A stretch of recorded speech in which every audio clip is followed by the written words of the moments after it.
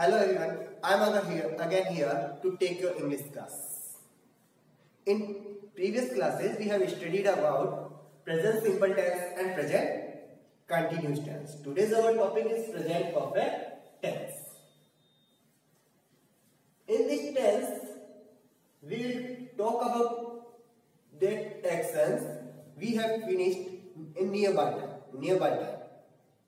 उन एक्शंस के बारे में जिनको हमने अभी अभी जस्ट कंप्लीट कर चुके हैं।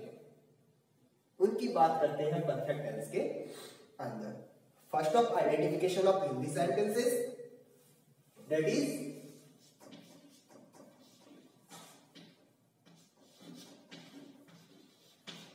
चुका है, चुकी है।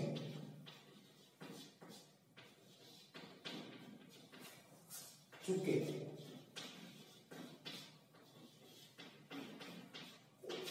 चुका है, चुकी है, चुके it's identification of Hindi sentences if you find out चुका है, चुकी है, चुके हैं in the last of Hindi sentences that means we will translate those that sentences according to perfect tenses structure next one is helping verb that is, has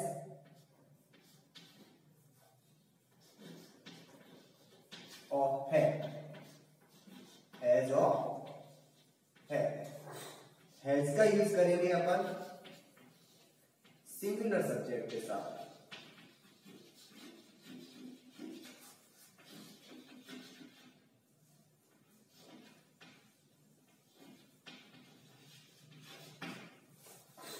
have का use करेंगे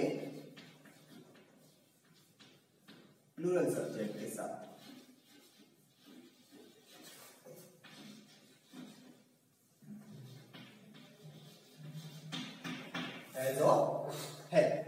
Subject is singular, then use has. If your subject is plural, then use have.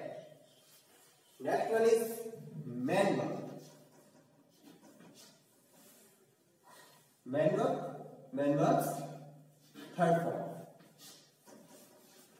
Man verbs, third form. Next, adverb,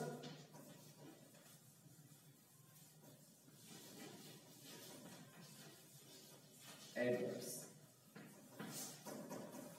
तो present perfect tense के अंदर, in the present perfect tense, we will use that adverbs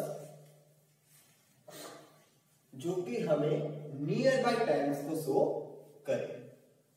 ऐसी actions जो अभी अभी complete कर चुके हैं, जिनको अपन फिनिश कर चुके हैं, उनको शो करे, उन एडवर्ब्स उन टाइम रिलेटेड एडवर्ब्स का हम यूज़ करेंगे।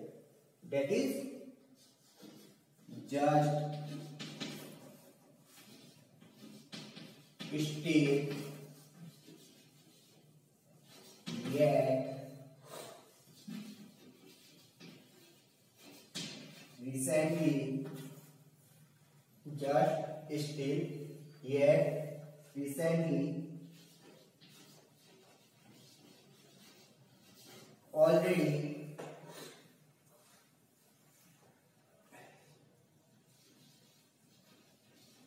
ever never before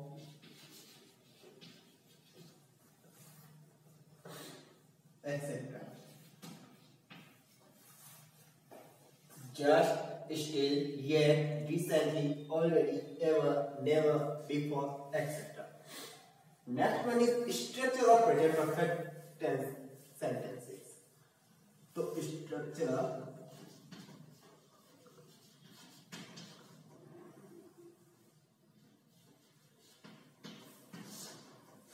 One is affirmative sentences structure. That is subject plus has or have plus main verbs third form plus object. Second, negative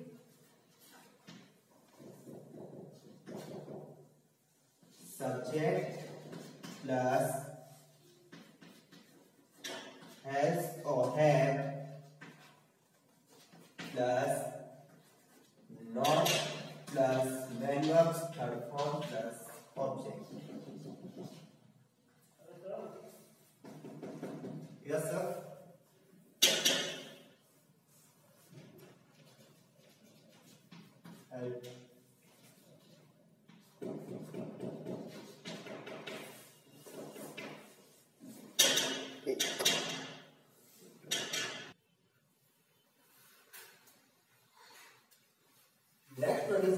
structure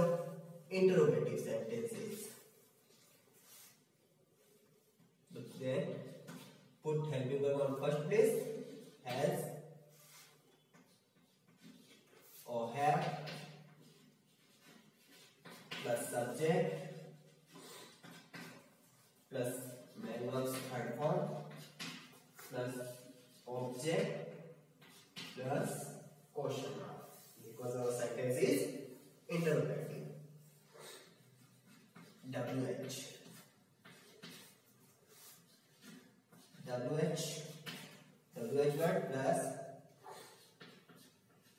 has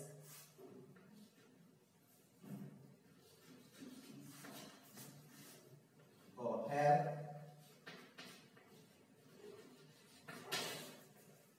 plus subject plus main verbs third form plus object plus interrogative.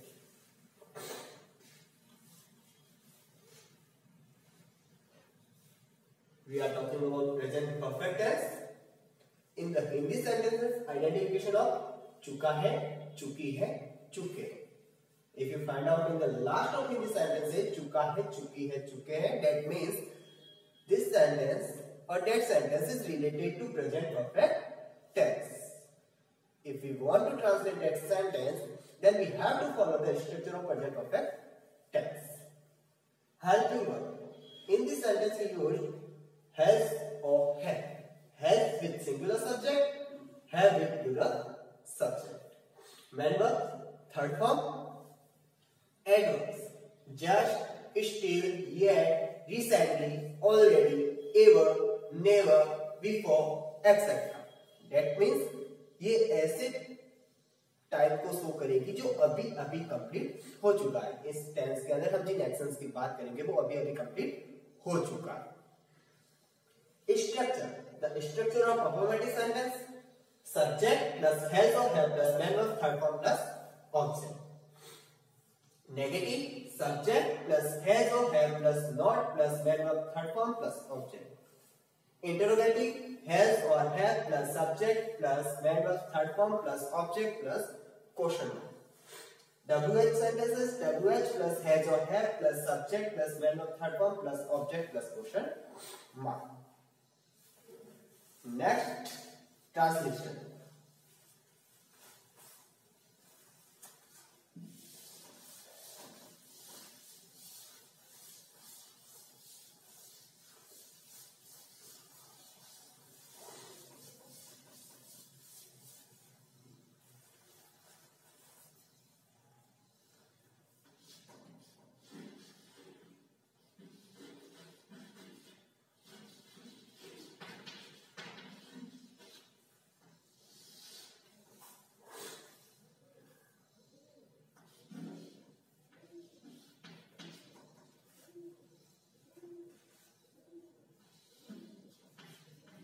वह अभी आ चुकी है वह अभी आ चुकी है our sentence is ending with चुकी है that means it's related to perfect tense and so we have to follow present perfect tense structure first one see subject is singular then we use has she has come third form of come is also come अपनी जो adverb है वो क्या है अभी। अभी के लिए क्या यूज़ करेंगे अपन? जस्ट जस्ट किया।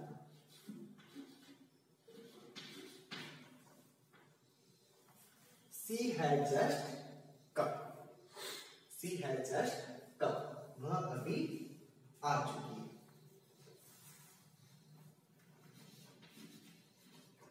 She has not just come.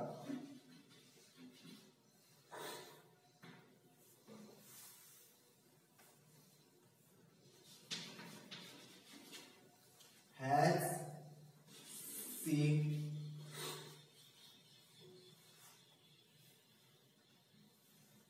has she just come?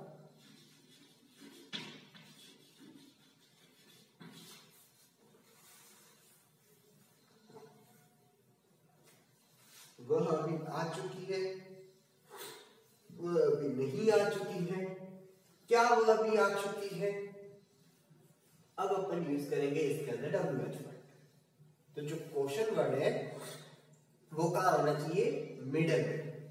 If you want to translate our sentence according to WH structure, then the question word should be in the middle of the sentence. वह अभी कहा आ चुकी है? कहा के लिए क्या use करेंगे? Where where has she just come where has she just come one more sentence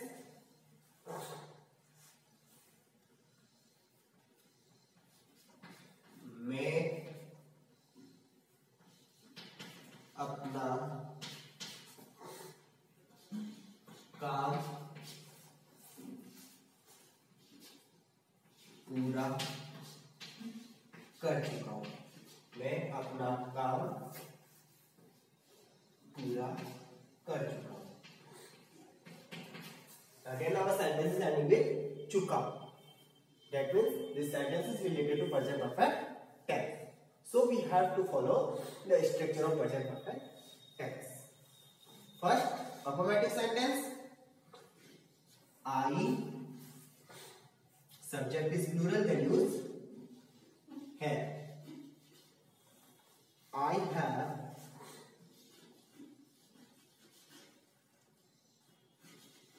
completed my work. I have completed my work.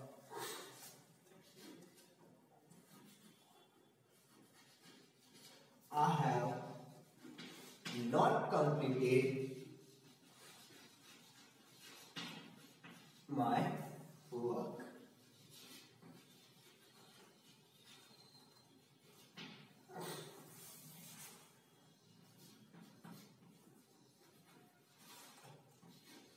Have I completed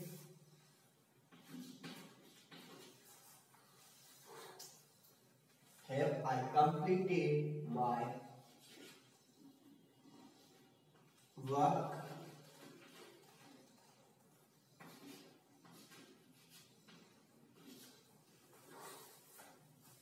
WH मैं अपना काम पूरा कर चुका हूँ।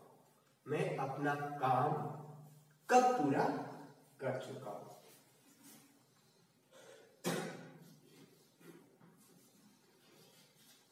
when have I completed my work when have I completed my work and question mark. Now our topic is complete.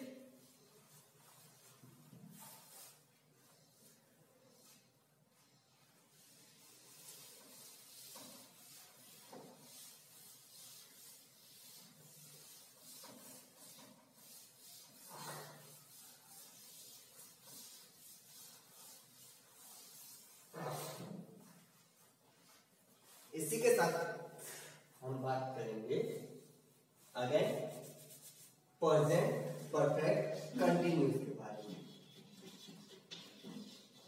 present perfect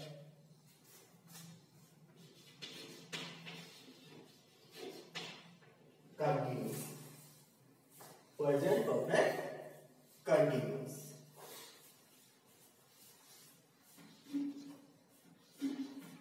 idea of hindi sentences रहा है रही है रहे रहा है रही है रहे is the idea of present perfect continuous something confusion because the same idea of present continuous रहा है रही है रहे then what is the difference between both of tense what is the difference between both of tense रहा है रही है, रहे. Same idea of present with time. रहा है रही है रहे हैं plus time if you find out in the sentences raha hai rahi hai rahe hai plus time that means that is related to present perfect continuous and if you find out only raha hai rahi hai rahe hai that means that sentence is related to present continuous it is a difference between both of sentences. Next, helping verb.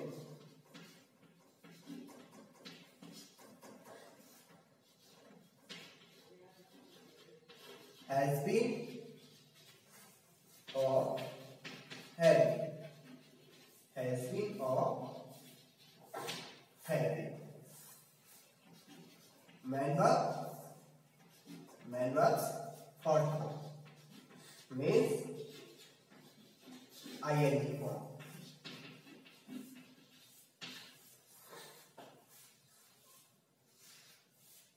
In this type of sentence, we will add something new, and that is since or for. Since or for. Since or for is used for time. Since or for used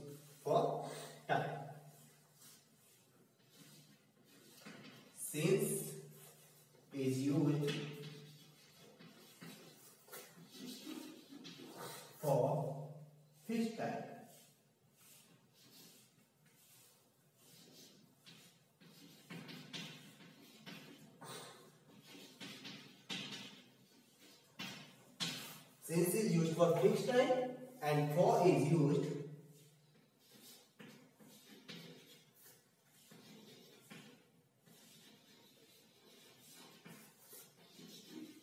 for periodic time.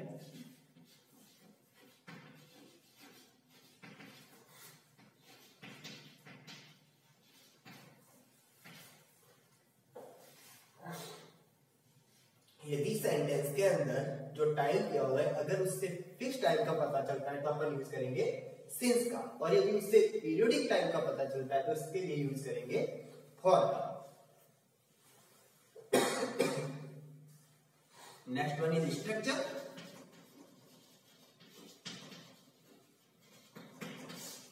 structure of subject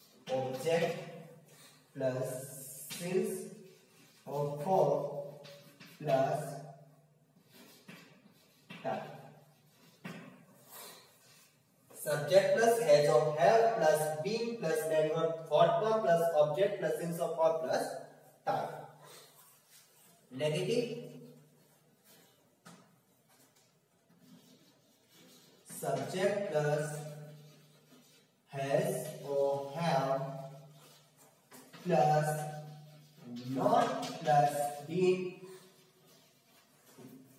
plus man of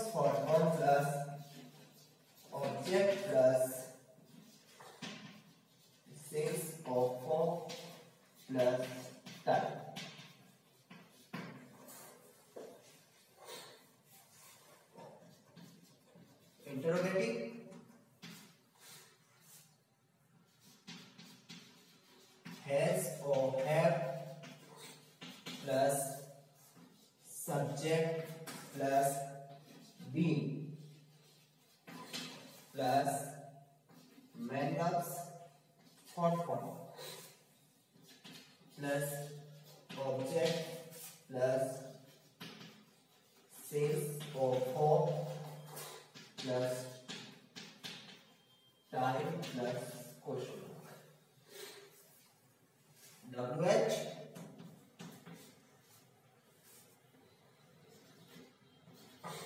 WH plus has or have plus subject plus been plus methods confirm plus object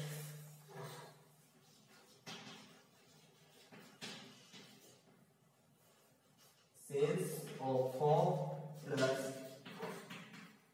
time plus question. Again from starting. Our topic is present perfect continuous. The identification of Hindi sentences रहा है रही है रहे हैं plus time. If you find out in Hindi sentences रहा है रही है रहे हैं plus time, that means that sentences This sentence is related to present perfect continuous. Helping verb has been or have been. Has been is used with singular subject and have been is used with plural subject.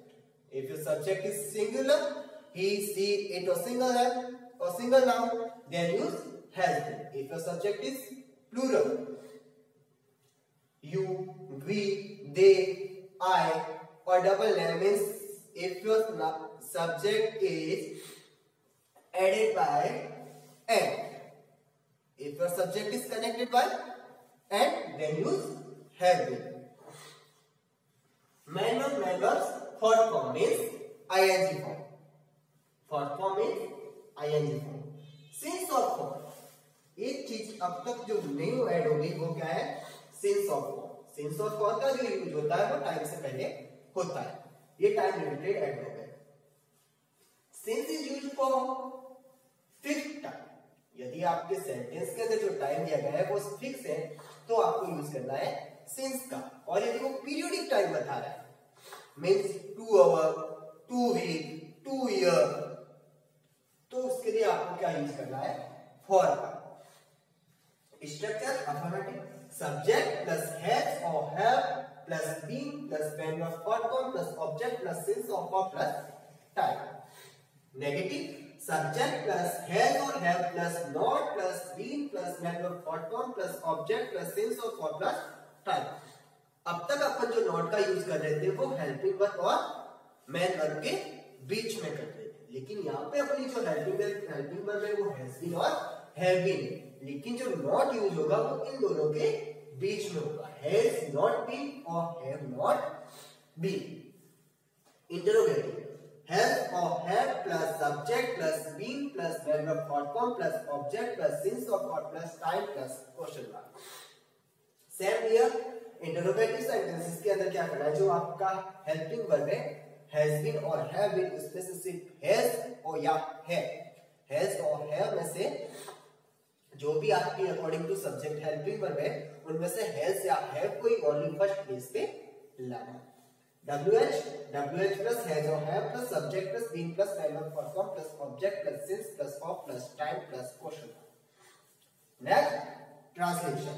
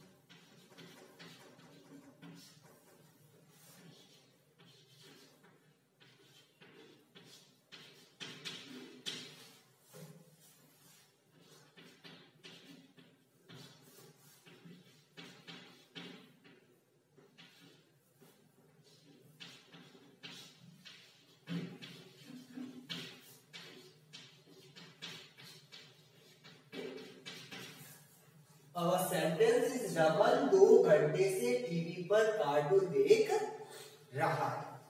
Our sentence is ending with रहा है। And we have time also in our sentence that means this sentence is related to present perfect continuous now translation Raman subject is singular then use has been Raman has been watching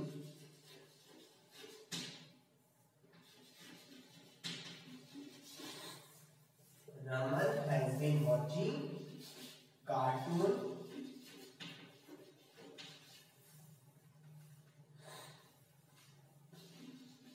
on TV for two hours.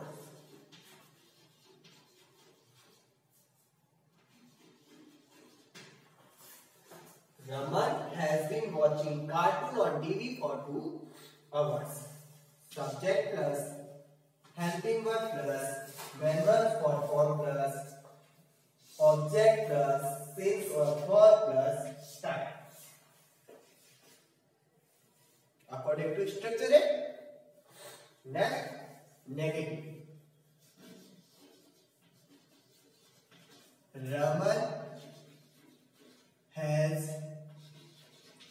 Not been watching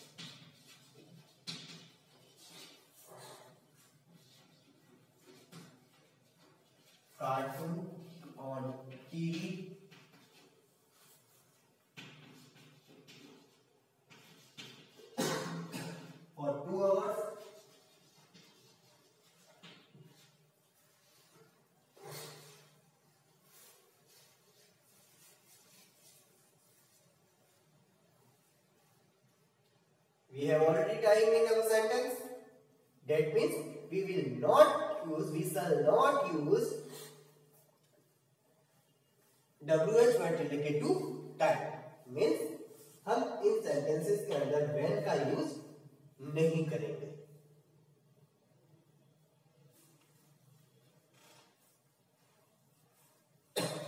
Why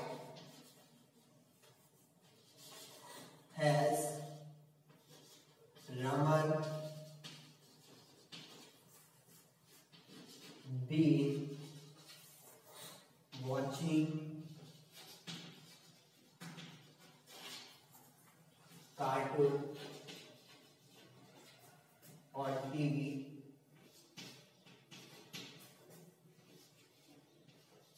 for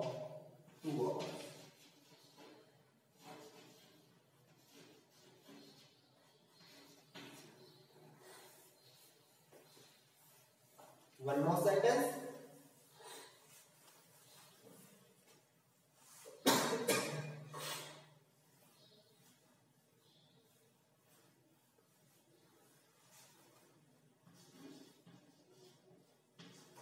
वह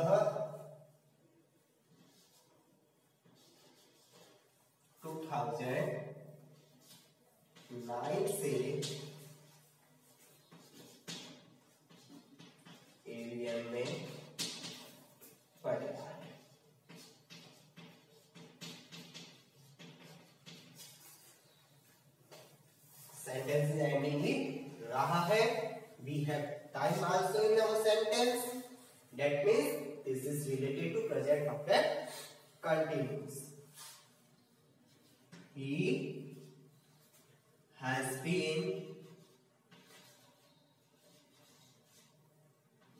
studying